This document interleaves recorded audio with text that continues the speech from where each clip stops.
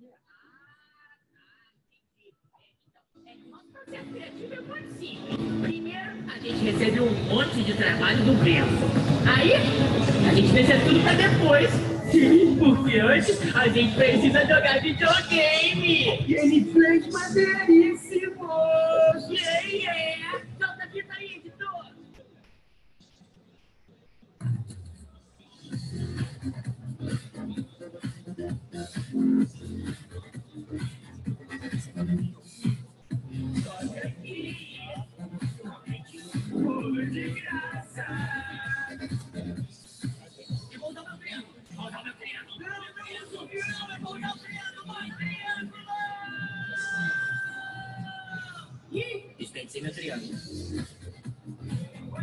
Ih,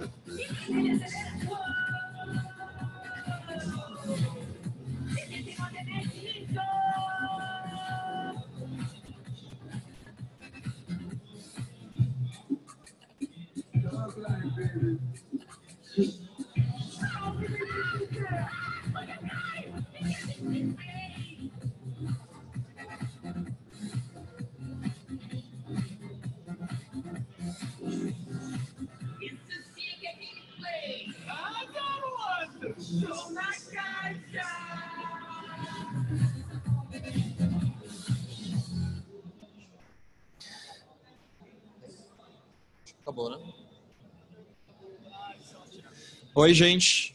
Boa tarde. Queria agradecer todo mundo de estar nesse sábado, carnaval lá fora, mas quem quer carnaval, a gente quer mesmo é jogar videogame, assistir Tuntubers, estar aqui na Campus Parties, que é mais legal, mais importante. Meu nome é Arthur, eu trabalho no Cartoon Network, eu sou o diretor digital do Cartoon Network, e eu estou hoje aqui para conversar um pouquinho sobre Tuntubers, né? Falar o que é o Tuntubers para vocês, e eu também estou aqui com querido Riquisito, Ricardo, Olá. mas no Cartoon a gente só chama ele de Riquisito. vários nomes. É, Eu, eu juro que eu perdi a conta já de quantos nomes eu tenho lá dentro. Mas bem, eu sou o Rick, Ricardo, Riquisita, tanto faz, vocês decidem. É, eu trabalho no Cartoon também já faz um tempinho aí, não tanto quanto o Arthur, porque ele é tipo Matusalém lá dentro. Mas eu já trabalho, no- eu comecei como estagiário, passei pela equipe de games e agora estou como roteirista é, e criativo lá dentro para outras peças do Cartoon, mas principalmente roteirista da série do Toontubers. Então tá, vamos lá. Será que eu consigo. Ah. Peraí, consegui? Bom, Tuntubers, na verdade, ele é um projeto hoje em dia que é muito grande dentro do Cartoon, né? Então, no comecinho ali, quando a gente começou com as primeiras ideias do Tuntubers e a maneira que ele nasceu, ele, eh, a gente era uma equipe menor, mas conforme o, o tempo foi passando, a gente foi crescendo e, e aí é uma produção que envolve muita gente mesmo, né? Às vezes as pessoas perguntam, ah, um vídeo, é super fácil de fazer, um gameplay. Não, isso é, é o trabalho de muita gente, né? A gente tinha três roteiristas trabalhando quase que diariamente com Tuntubers, né? A gente tem uma produtora, que é a Strato Storm, que é a produtora que, que faz Tuntubers, então eles trabalham com a gente toda essa parte de edição, de gameplay. Aí a gente tem toda a parte de produção e a gente também tem um trabalho muito legal que a gente desenvolve com o Charles Emanuel e com o Sérgio Sterne, que são os dubladores da, da série, né? apenas um show. E Tuntubers a gente tem uma pegada um pouco diferente com esses dubladores, né? Porque Tuntubers não é um trabalho de dublagem, né? Então é um trabalho de voz original. Ou seja, eles criam as vozes em conjunto com a gente. Então, muitas vezes a gente escreve o roteiro, eles olham e na hora de gravar, eles, eles já fazem os personagens de apenas o show há tantos anos, que às vezes eles olham e falam, putz, o Rigby não fala assim, sabe? O Mordecai, vamos dar uma ajustada no tom. Então, os dubladores também entram nesse processo de alguma forma e é um processo de voz original, né? Então, para vocês terem uma, uma ideia de quem é quem e o tamanho dessa equipe, né? Bom, então, Tuntubers é o, é o, puro gameplay brasileiro, né? Então, a gente, quem não conhece muito Tuntubers, vocês viram um pouco no vídeo, né? Mas Tuntubers a gente pega é, jogos, né? Faz gameplay vídeo, isso é, é gigantesco para as crianças, né? Então, a gente sabe que as crianças gostam muito disso. Então, virou uma tendência e a partir disso a gente começou a desenvolver isso 100% aqui no Brasil mesmo. Então, a gente exporta esse formato para outros países, porque na hora que a gente lançou aqui foi um boom tão grande, fez um sucesso tão é, ótimo para o Cartoon lá dentro que a gente acabou exportando para outros países. Então, é uma produção brasileira, né? Nossa, que vai para outras regiões e outros lugares. Como nasceu Tuntubers? Como toda ideia criativa foi tomando banho. Então, a Vivi, que é uma das nossas gerentes criativas, na verdade, ela estava pensando como que a gente conseguia fazer um projeto novo, uma coisa diferente. Isso aconteceu mais ou menos há uns quatro anos atrás e era um momento que a gente estava no Cartoon pensando, a gente precisa investir sério no, no YouTube, entrar nessa plataforma nova, entender como que a gente consegue desenvolver um conteúdo nativo, né? Porque uma coisa que a gente faz muito no Cartoon, dentro do departamento digital, é entender a linguagem de cada plataforma, né? Então, o YouTube tem uma linguagem específica, as pessoas vão atrás de um tipo de conteúdo. No Facebook, as pessoas vão atrás de outro tipo de conteúdo. Se você começar a pensar em vídeo, isso é muito diferente. Então, a Vivi, ela estava tomando banho e ela gostava muito de, de gameplay, né? Ela, ela, ela é uma gamer, inclusive eu, o Rick, e a maioria das pessoas que trabalham no Cartoon são gamers também. Acho que isso também facilitou um pouco na hora de, de criar o formato, né? Porque todo mundo é muito gamer. Então a Vivi criou a ideia e ela falou: Meu, isso é genial, a gente precisa fazer, sabe? Então, foi isso, né? A gente falou: Poxa, o que a gente tem mais de precioso dentro do Cartoon são os personagens, né? Então, os personagens são o que as crianças mais se identificam, que elas mais gostam de ver. Então, no lugar de trazer um influenciador, de chamar alguém para fazer, ah, você não quer fazer o que gameplay com a gente? Não vamos pegar os nossos personagens e vamos trazer ele para essa linguagem do YouTube, né? Então vamos pegar eles e colocar eles em outro lugar. Mordecai e o Rigby, eles tinham muito caimento, né? Mordecai e o Rigby são dois personagens que eles adoram procrastinar, eles adoram não fazer nada, eles adoram videogame, então assim, era a justificativa perfeita que a gente tinha para trazer esses personagens. Dentro do cartoon, uma coisa boa também, a gente tem muita liberdade criativa, assim, sabe? Então, tanto eu quanto o Rick, a gente fica debaixo do departamento de conteúdo, né? Então, se a gente for subindo os estúdios, né, do Cartoon que ficam em Los Angeles, e a gente está debaixo da mesma estrutura. Então, isso também permite a gente ter uma certa liberdade de construção com os personagens. Então, a gente não precisa mandar para fora para provar e para falar, ah, a gente está fazendo isso. Não, a gente pega, a gente faz e a gente, de alguma maneira ou outra, mostra para eles, mas a gente lá dentro, a gente tem esse treinamento para fazer tudo dentro da, da linguagem, dentro da marca, e isso para a gente é muito importante. Bom, isso aqui também é um pouco para falar, e aqui entra um pouco mais de um, de um tópico mais de criatividade. Quando a gente começou a criar, YouTube ainda não era muito grande lá dentro do Cartoon, né? A gente, a gente não tinha uma, uma equipe destacada para fazer isso. Na verdade, há quatro anos atrás, a equipe do Cartoon era bem menor aqui no Brasil do que é hoje. Então, a gente não tinha pessoas, a gente não tinha o conhecimento, né? Então, a gente não sabia editar vídeos, né? Então, a gente sempre foi muito bom criativamente falando, mas a gente escrevia roteiros, a gente sempre fazia as coisas fora. A gente nunca teve esse espírito maker dentro do Cartoon. E isso, para a gente, sempre foi, foi, foi uma coisa que a gente gostava muito, mas a gente nunca tinha maneiras de fazer isso lá dentro porque a estrutura era muito pequena. O departamento na época eram três pessoas aqui, né? Então a gente precisava encontrar uma maneira de criativamente executar a ideia e conseguir com a ideia executada provar para o pessoal, para os nossos chefes, olha, isso aqui é uma coisa boa e é uma coisa legal. Então eu acho que a criatividade ela é muito rodada por restrições. Então quanto mais restrito, mais criativo você é. Então, a coisa mais difícil para um criativo é você chegar e falar assim para ele, ó, cria aí.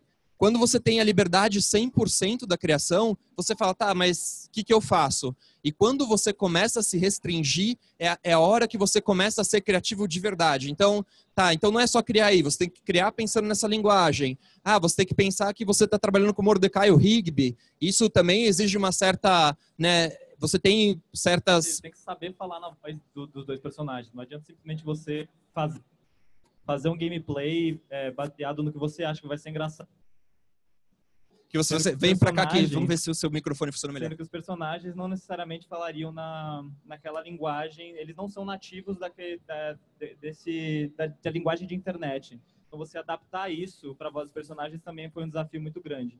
Então isso de restrição é o que acaba otimizando a criatividade. Então, assim, quanto mais restrito, mais você vai buscar na sua cabeça para ser criativo e superar aquelas barreiras, né? Então, esse eu acho que esse foi o grande exercício de Tuntubers, porque a gente tinha muita restrição no que a gente conseguia fazer, da maneira que a gente conseguia fazer, e isso ajudou muito, impulsionou muito a criatividade e a maneira que a gente foi para frente, né? E aí foi isso, né? O, o, essa falta de recursos, de não ter mão, de não saber editar, isso foi tudo que, o que ajudou a gente a crescer a ideia e, e a realmente persistir. Eu acho que se tem uma coisa importante que, que a gente aprendeu, eh, acho que durante todos esses anos do Cartoon, uma das coisas mais importantes que eu, que eu que eu sempre que alguém me pergunta uma dica, eu acho que é persistir, assim, sabe? É não desistir da sua ideia, é você tentar, tentar, tentar e, e, por mais que tenham limitações, você vai conseguir encontrar maneiras de, de contornar essas limitações se você acreditar e se você tiver paixão pelo que você está fazendo, né? Então, o Tuntubers, ele, ele foi muito... Ele nasceu de uma maneira, a gente colocou ele na TV, mas na TV aquilo não, não funcionava. Aí os chefes falaram, mas poxa, isso é só para TV, por que a gente vai continuar fazendo? E a gente não desistiu quando o Tuntubers nasceu, ele era uma pílula de um minuto e meio para TV, sabe? Aí a gente falou, não, não vamos desistir, a gente quer fazer. A gente teve uma reiteração do formato, né? Então a gente olhou, tá, o que está acontecendo aqui que a gente gosta, o que, que o que, que, tem em outros vídeos, outras referências que a gente gosta, como que a gente consegue aprender também, não só olhando para o nosso próprio umbigo e pelas nossas próprias restrições, né, mas é, olhando para fora também, né, então isso, isso ajudou muito, muito a gente também no conceito criativo, né, então eu sempre falo, né, que para você pensar fora da caixa, você precisa primeiro encher a caixa. Se a caixa não estiver cheia, você não consegue pensar fora. Então, primeiro a gente tem que encher a caixa, entender o que acontece para depois conseguir pensar fora. E isso é parte de restrição também, né?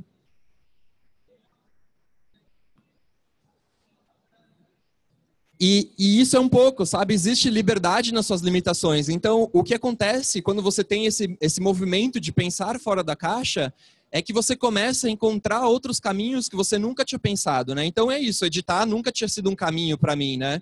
Então, beleza, eu vou sentar, vou editar, vou aprender, e conforme você com, começa a mexer mais e executar mais, isso também vai te dando outras ideias, isso vai gerando outras coisas, né? Então, existe liberdade nas, limitações, né? Isso é uma coisa muito importante, assim, sabe? Esse coach é do Robert Rodrigues. É, e, e aqui, um, um pouco para falar sobre, assim, como o Arthur bem falou, é, a gente teve todo esse caminho de dificuldades na hora de assim de conseguir é, de todos esses recursos, de dificuldade na edição, dificuldade para conseguir tornar esse projeto viável, mas foi a partir dessas dificuldades que a gente conseguiu criar o que hoje é a linguagem do Tontubers. Então, inicialmente, a gente, assim, a primeira ideia que a gente teve era criar, colocar os personagens ali, como, como todo gamer, colocar eles numa caixinha ali no canto, falando, conversando, mas isso ia exigir uma animação original. Então, para a gente, a gente pensou assim na ideia mais incrível que a gente poderia ter, que seria essa, com animação original, e a gente foi uns passos para trás.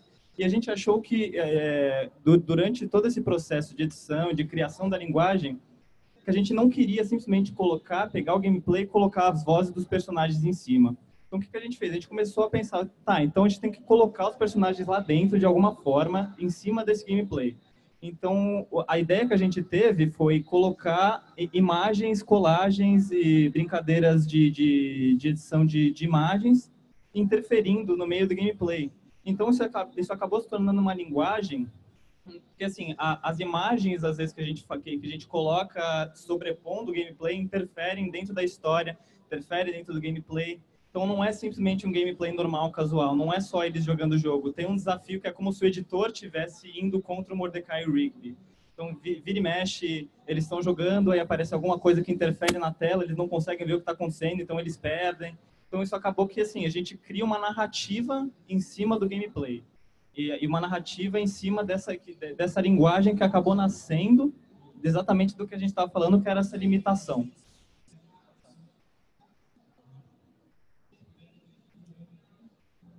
Então, só para dar alguns exemplos, quando eles mencionam que alguém é tipo chato no jogo, alguém, algum jogador meio tóxico, aparece, eles, eles falam que é um Benson, que é o chefe do Mordecai do Rigby, que é super chato com eles. Então aparece a cara do Benson.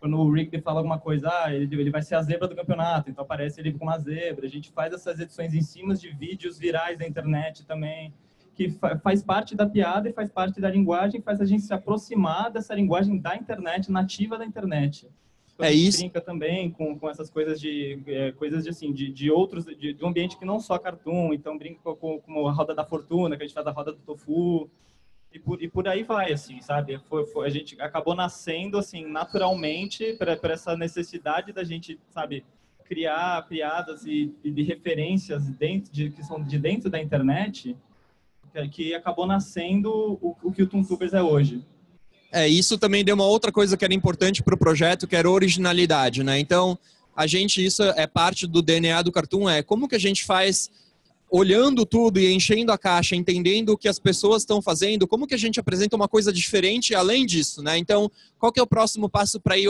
o além, né? Alguma coisa que a gente não vê muito, que não é muito usual, e, e a criação dessa linguagem, inclusive essa coisa da gente estar tá aprendendo a editar ali no meio, ajudou muito na criação dessa linguagem e a gente apresentou uma coisa nova, e, e era uma coisa que a gente não tinha visto antes em vídeos de gameplay, né? E isso foi muito importante, assim, para a criação dessa, dessa linguagem.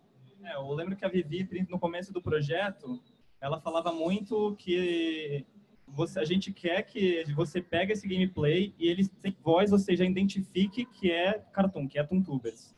Porque, teoricamente, assim, se você pegar um gameplay qualquer, se fosse aqui isso daqui só o jogo, poderia colocar a voz de qualquer pessoa aqui que continuaria funcionando. Mas agora, quando você coloca exatamente esse tipo de interferência, você bate o olho e você vai saber exatamente o que é Tuntubers. E foi, de, de novo, exatamente nessa brincadeira da gente ter que editar, da gente ter que fazer um negócio assim, tal como um maker faz, alguém que está fazendo em casa, alguém que está começando um canal, foi que, assim, acabou que naturalmente virou a linguagem do Tuntubers. A gente virou, a gente conseguiu é, entrar dentro desse ambiente de internet porque a gente estava no mesmo esquema que os makers da internet estavam, basicamente.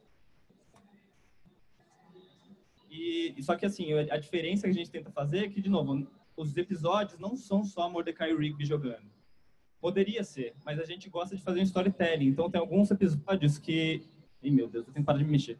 Tem alguns episódios que eles têm sequência, então que tem uma história por trás. Por exemplo, o episódio de Mini Titãs tem toda uma jornada que o que é o Rigby virando um grande imperador vilão porque ele adora o Mutano dentro do jogo e o Mordecai fica zoando ele, então eles brigam, e aí ah, tem uma sequência, e, e agora tá na parte 2, ainda vai lançar a parte 3.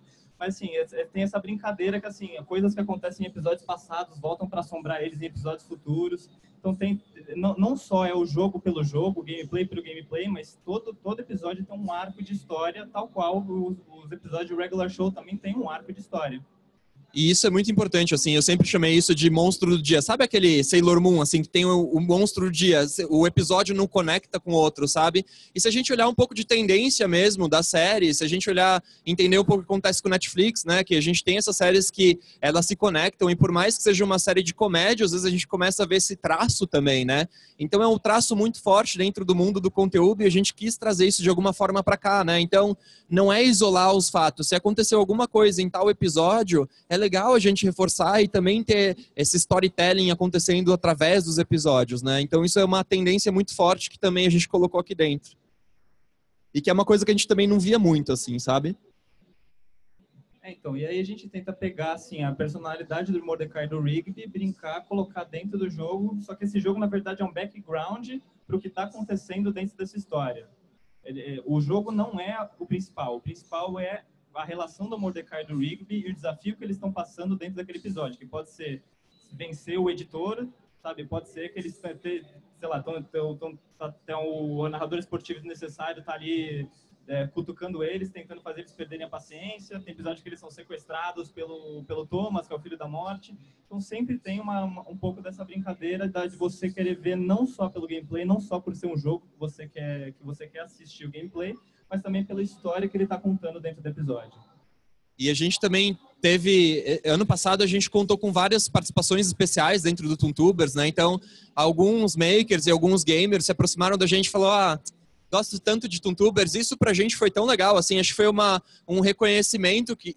Né, de, poxa, a gente está fazendo uma coisa que outros gamers estão vendo, estão reconhecendo e eles estão gostando, assim, sabe? Então a gente fez parceria com Taser Crash, foi super legal. A gente fez. Com a Riot também. Com a Riot, com Animalu. Blizzard, a gente. Blizzard. Então, o mercado mesmo acabou reconhecendo a gente, a gente começou a trabalhar muito mais. Isso pra gente foi outro step de reconhecimento também, assim, sabe? E não, não só Brasil, como Latam, assim, que, que eu, toda a América Latina recebe Tuntubers, ele é um produto que não, não é só em português, ele é em português e espanhol e sai sempre no mesmo dia para os dois mercados no YouTube. Então também teve é, makers de, de, toda a América Latina se aproximando da gente para fazer alguma coisa com Toontubers. Mas, assim, mas assim, o importante também é a gente falar um pouco qual que é o nosso processo criativo, porque de novo, Toontubers ele não é um gameplay qualquer, não é um gameplay normal, porque tem, to, tem todo um, algumas etapas a mais do que o, alguns, que alguns gameplays têm, porque teoricamente o Mordecai e o Rigby não estão jogando o jogo efetivamente. Então a gente vai mostrar um pouco como é que é o processo criativo muitas pessoas acham que o processo criativo é mais ou menos isso, o que não está de todo errado. É real, gente, é muito real. Assim, você percebe que, ok, tenho que estrear no episódio daqui três semanas, estou, não, não vai dar. Mas acontece, dá certo, a gente conseguiu, a gente conseguiu fazer episódios em, em tempos que recordes. Mas, assim, basicamente, não é isso. É mais ou menos o que a gente vai mostrar aqui agora nesse vídeo.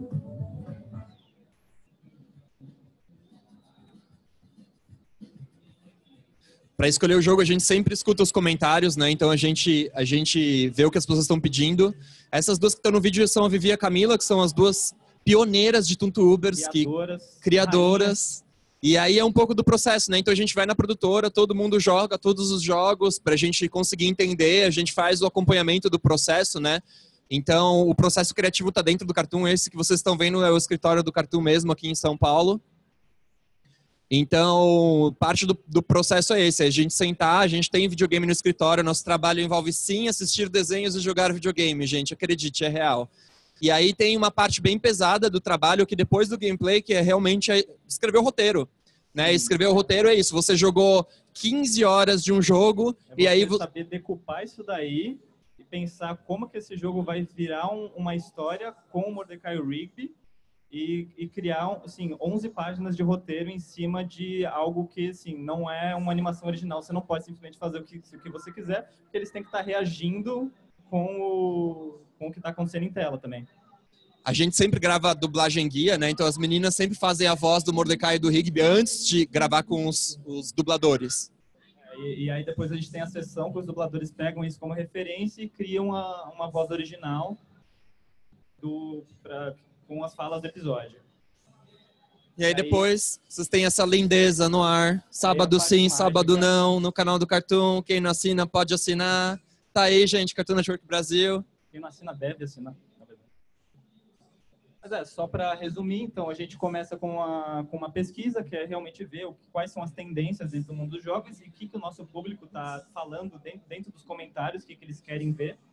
Depois a gente passa por uma parte de experimentação, que é basicamente jogar os jogos e ver quais jogos também são adequados para o público que a gente está jogando, porque não dá para jogar qualquer coisa, afinal ainda é um produto que é direcionado para crianças. Depois tem a parte de, de uma, uma pré-edição, que é para a gente, que uma vez que a gente já, já começou a construir o roteiro, que na verdade assim, eles pegam todo esse material, decupam, e em cima disso daí a gente cria o roteiro grava o áudio guia, grava os personagens e depois faz a edição final para que, que, que, e assim, o momento mágico, na verdade, é ver os, os, dubladores fazendo as vozes, é sensacional. Quando você acha que o episódio está uma porcaria, na verdade, eles fazem e fica mágico.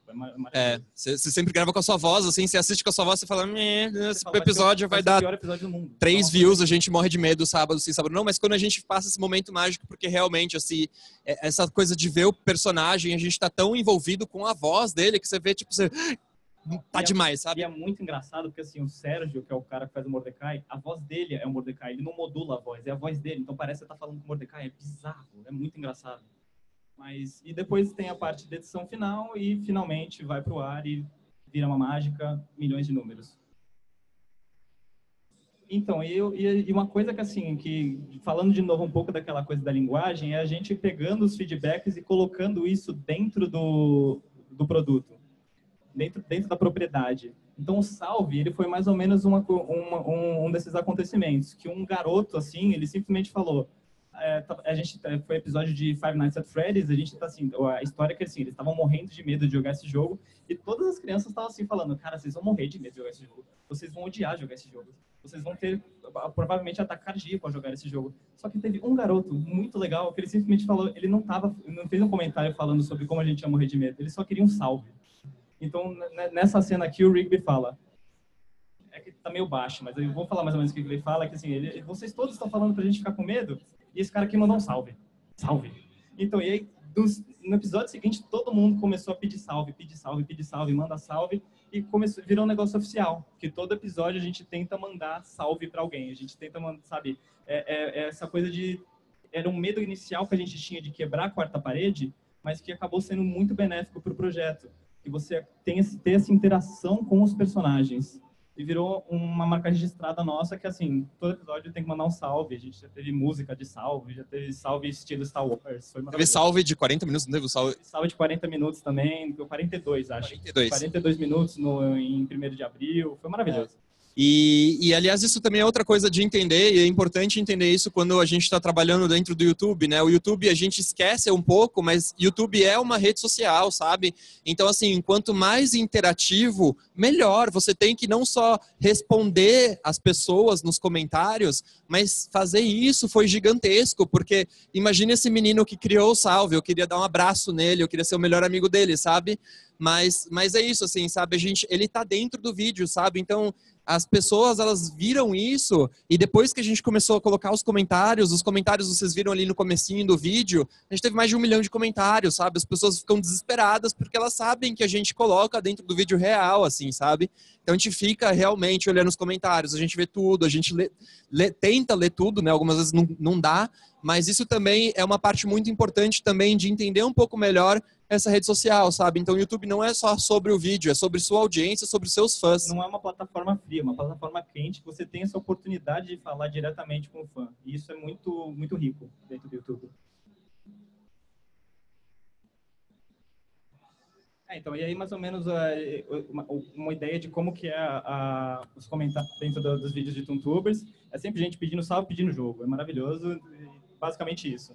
É, e na verdade a nossa audiência hoje em dia são os nossos chefes, sabe? Então são eles que ditam assim, sabe? Se eles pedem um jogo, a gente vai produzir o jogo que eles estão pedindo e não o que a gente acha que vai ser legal. A audiência manda, os fãs mandam. No Cartoon essa é a regra, a fã manda.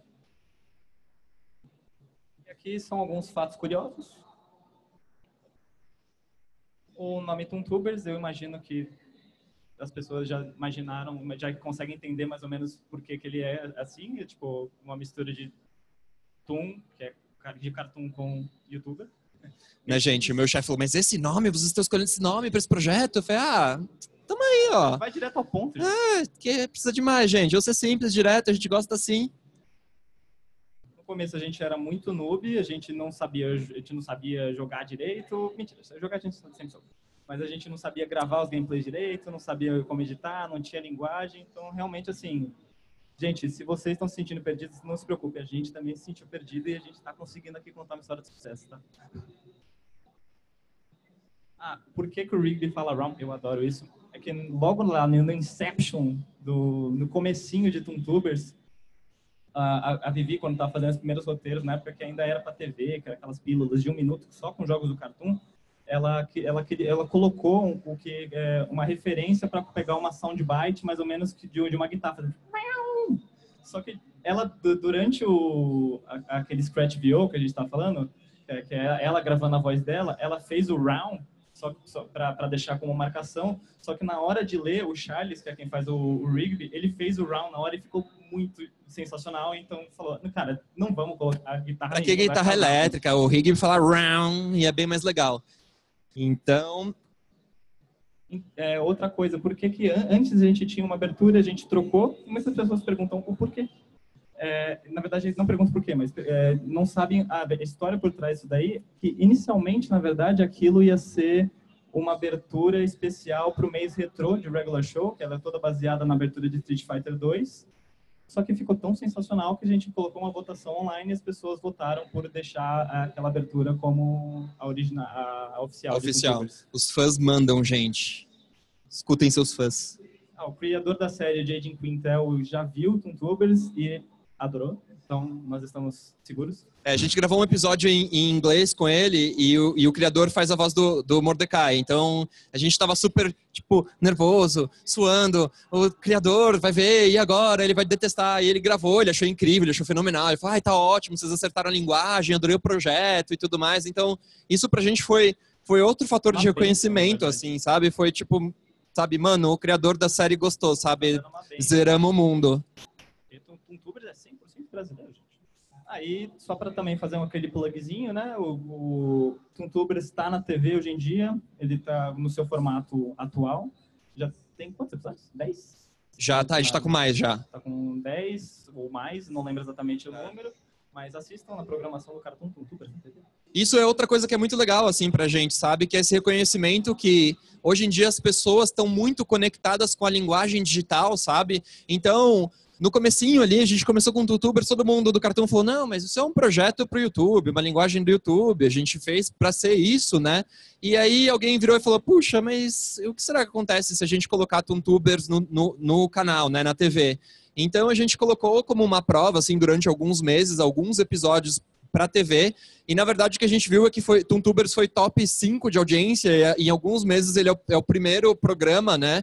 Então a gente estava competindo, né, o nosso programinha aqui Brasil ali, né, competindo com os episódios mesmo, né, de OKKO e das outras séries. Então isso pra gente foi super legal e mostra também como a linguagem, né, é, visual, audiovisual, é uma coisa que evolui constantemente, assim, sabe? Mesmo se a gente pensar, eu, eu, não preciso nem voltar muito, mas o próprio Cartoon, né, no passado, na década de 90, né, 2000, a gente produzia episódios de 22 minutos, né, um episódio de 22 minutos. Depois os episódios foram para um episódio é 11 minutos. Então, assim, a linguagem foi alterando e foi mudando, né? E, e é interessante observar e, e viver esse tipo de mudança, né? As coisas são muito mais rápidas, né? Então, isso é muito legal de observar e a gente já vê que na TV, né, a gente esse medo não, não teve nenhum problema.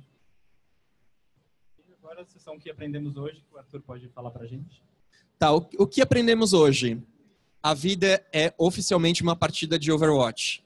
Então, assim, eu acho que isso é uma realidade, assim. Oh, isso é uma realidade no sentido que se você não trabalha em equipe, né, você não consegue levar esse projeto adiante, assim, sabe? Uma coisa que a gente tenta fazer e a gente faz real, assim, no Cartoon, é não existe essa coisa de ego, não existe essa coisa de, ah, eu sou diretor, minha voz vale mais do que o do estagiário. Então, na verdade, a gente tem essa, essa linguagem, essa, essa visão bem horizontal, é a mesma equipe, a gente está lutando para fazer o mesmo projeto, e se todo mundo não estiver trabalhando em conjunto, a gente não consegue lançar sábado sim, sábado não, né? Parece, ah, tipo, um episódio a cada duas semanas, mas, mano, dá trabalho. São, olha... Tá. É, criatividade, não dinheiro, resolve os problemas, sabe? Então, assim, a gente podia muito bem ali no começo virar para os executivos falar, ó, dá aqui dinheiro para gente, a gente optou por outro caminho que foi, não, vamos usar nossa criatividade, vamos sentar, vamos fazer, e, e, e é muito mais por paixão, assim, sabe? Então, isso foi a coisa mais importante para gente. E aqui, né, gamers nunca, nunca desistem. Só vai Mordecai, importante. E eu já falei, né, mas jabá, né, gente? Olha, não sou youtuber, é o Mordecai o Rigby, mas acesse nosso canal, é bonitinho. É ajeitadinho. E só para terminar, eu vou deixar esse vídeo maravilhoso de tinta, porque a gente gosta muito desses é, vídeos de é, tinta. É relaxante. É relaxante. Em um momento eu pensei em colocar vídeos de cravo, mas achei que ia ser uma coisa meio bizarra, assustadora. Então, esse vídeo de tinta para terminar. Eu tenho, na verdade, kits do Cartoon para ver se vocês prestaram atenção né, e, e, conseguiram absorver um pouco. Então, primeira pergunta: alguém consegue falar um gameplay que a gente jogou aqui com Tuntubers? Ali, ó. Ela já, já respondeu. Já E a escutei gente daqui, ó. está ó. entregando nossas incríveis camisetas piticas. Olha, Somos sendo patrocinados pela Pitica. esse, esse aqui. Desculpa, eu vou abrir, mas é que eu amo muito essa jaqueta. É uma Ah, jaqueta que jaqueta. ser- A gente tem que entregar por último. É, a parte É, então tá. Então faz a pergunta ali, Rick, do Vamos lá, Piticas. Próxima pergunta vai ser: alguém fala uma hashtag que a gente já usou no Tuntubers? É, Não, salve na verdade não é uma hashtag. Uh, vai, segunda chance. Sabe alguma assim? Ah, ah. Peraí, levantem a mão, gente, mais fácil. Vai. Só vai Mordecai também não é uma hashtag. Então, Salve. salve. não foi uma hashtag, salve é só o salve. Ali no fundo. Qual? Peraí, bota aí, mais fácil. O nome do próprio show não foi uma hashtag, gente, desculpa. Tá, outra pergunta, vai. Mas ok. De- não sei. Fala um personagem tirando o Mordecai Rigby que já, que já apareceu? Ok, ali. Travou, travou. Momento difícil. Talvez? Aqui, Sim, aqui, não? aqui, aqui, Ok. ó, pra gente terminar aqui, senão a organização vai matar a gente. Benção. Benção já apareceu, pronto. Uh, E agora a nossa incrível jaqueta Tuntubers. incrível, jaqueta Tuntubers, que é o prêmio mais importante da noite. Vamos pensar Tá. que, que pergunta eu consigo fazer aqui, gente. Eu falei que a gravação de voz não é dublagem, ela é. Você não vale que você trabalha no cartoon, menina. Não tá valendo. Voz original ali, ó. Entrega ali pra ele no fundo. E é isso, Parabéns. gente. Muito obrigado. Espero que vocês tenham, gostado da nossa palestra. Enfim, é um prazer ter vocês aqui. É um prazer falar pra vocês. E é um prazer ver gente que gosta tanto assim do cartoon e de Toontubers. Obrigado, gente. É, então, Ah, é verdade. tem um Temos perguntas. pergunta. Temos três perguntas. Quem tem pergunta? Aqui, ó, aqui na frente. É, primeiramente, boa tarde. É, eu gostaria de saber, vocês dois fazem roteiro, não é isso? Escrevem roteiro, mas quem é que fica responsável pela animação de fato? Então, a gente tem uma produtora chamada Strato Storm e eles fazem a, a, a. a gente tem. Não chega a ser uma animação original no sentido de 24 quadros, o tradicional de animação, né? Então, a gente faz algumas animações em cutout e é a Strato Storm que faz, né? A gente tem uma equipe de- dedicada dentro da produtora de quatro pessoas que trabalham exclusivamente com Toontubers, né? Então, são eles que fazem toda essa parte de animação original. Pergunta aqui, ó, na frente. E depois ali, ó, pro nosso amigo da, Oi, boa tarde. Primeiro eu queria dizer que eu acho incrível o trabalho de vocês e a minha pergunta é como é que eu faço para trabalhar para vocês? Olha lá, gente. Então, a gente tem uma rede. É, Ingrid, como chama mesmo? É, agora mudou o nome. Carreiras, carreiras na... Ingrid, nossa né, contratada recente, era uma estagiária, agora ela é uma funcionária Cartoon. Vocês podem procurar ela. Tem, a gente tem uma, uma rede no, no Facebook que chama Carreiras na Turner, né? Então, quem não sabe, o, o Cartoon é parte da, da Tur- Turner Carreiras. Turner Carreiras é uma página no Facebook, então a gente sempre que tem vagas no Cartoon, a gente abre as vagas ali. Então é só vocês olharem. Carreiras na Turner, Turner Carreiras, alguma coisa assim, tá bom? É ali. Dentro do que vocês apresentaram, é, a gente viu que a originalidade foi o que fez o Tom Tubers ser o sucesso que é. Acho que o microfone Oi. morreu. Então, eu queria saber de vocês, para quem planeja, né, eu trabalho com web mais na área mais de marketing, mas o interessante é a visão de vocês dentro da, do mercado agora que vocês estão e como consumidores também, já que vocês são gamers. Então, para quem está começando, como é que vocês, onde foi o clique que vocês viraram a chave de criador de de criador de conteúdo para para deixar de ser consumidor e começar a pensar como criador de conteúdo. Eu acho que, na verdade, a gente, a gente nunca deixou de pensar como consumidor, sabe? Eu acho que uma das coisas que eu sempre gostei muito do Cartoon, eu acho que essa, essa coisa de ter um departamento de conteúdo e o departamento de marketing é separado. Não é o mesmo departamento, sabe?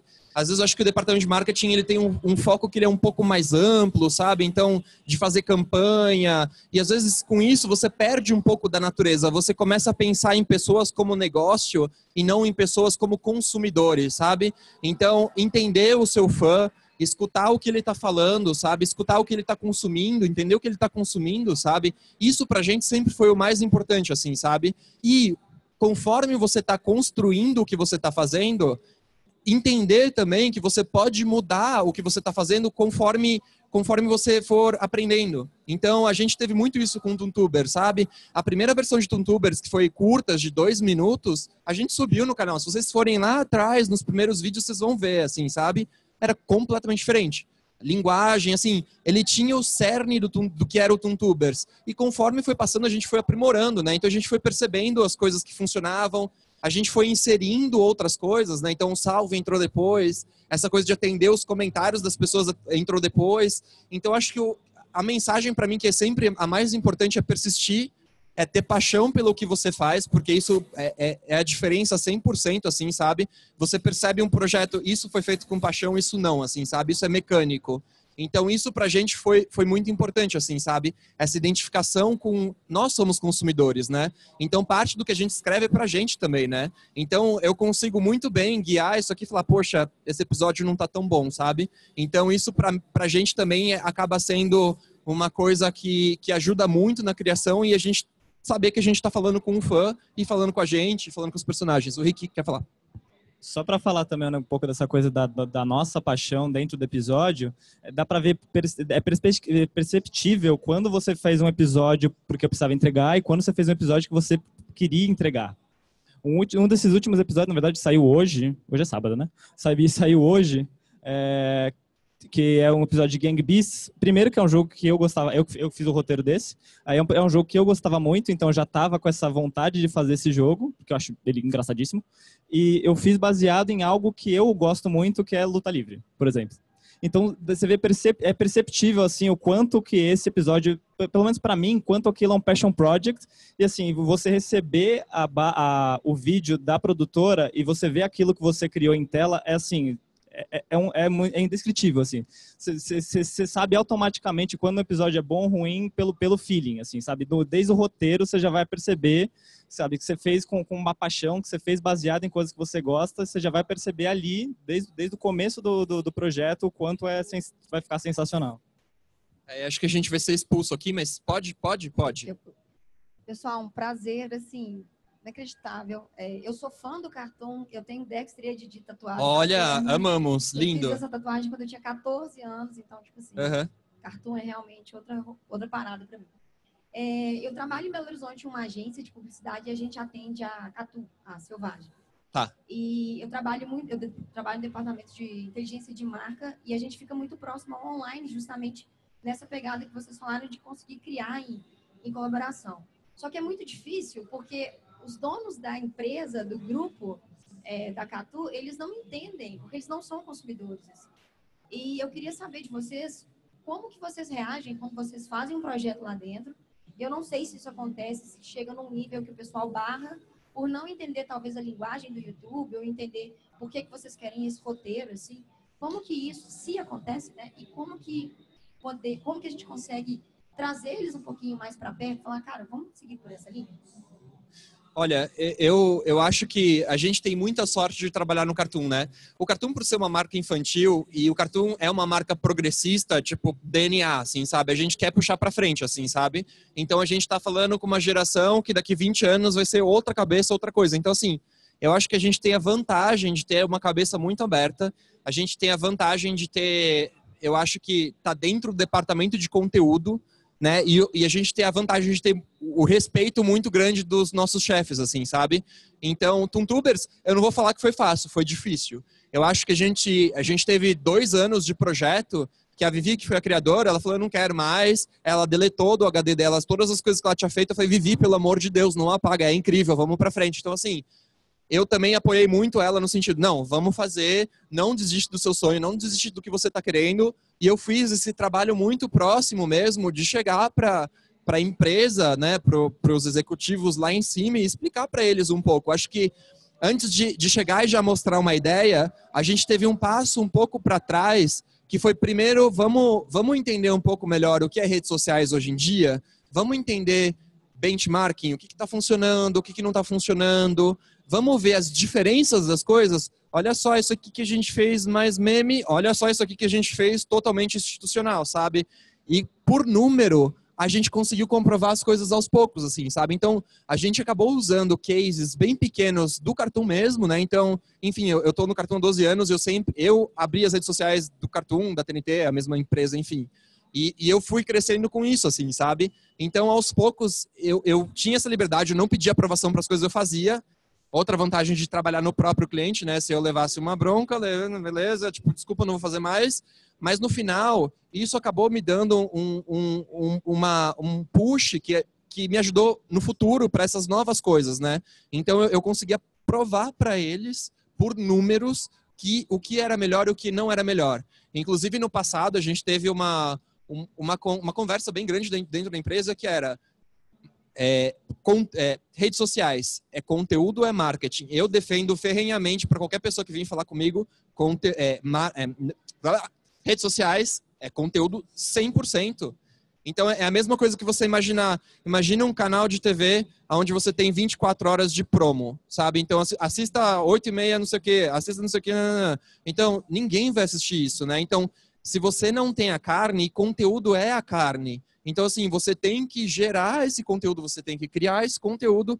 E eu acho que esse também foi outro momento bem importante dentro da empresa, porque enfim, eu comprei uma briga bem graúda e no final super foi ótimo pra gente, assim, sabe? E não é uma briga ruim, é uma briga boa, porque a gente precisa conversar dessas coisas, sabe? A gente tem que ter abertura para aceitar que os nossos pontos de vista nunca são 100% correto, mas de novo, isso é muito difícil, porque depende muito da pessoa que você está trabalhando, né? Então, às vezes você encontra uma pessoa que é isso, ela tem uma cabeça fechada, ela nunca vai aceitar que o, o ponto de vista dela não é o real. Então é, é, é, complicado, mas eu acho que essa coisa de voltar um pouco antes de apresentar o projeto, tentar ir para trás, apresentar números, tentar construir um conhecimento nessa pessoa, eu acho que ajuda muito depois na hora de executar o projeto, sabe? Eu não sei se isso te ajuda, mas de repente. Então é isso, né? Né, produção? DJ? Acabamos? Acabamos. De novo, gente, obrigado. Alô.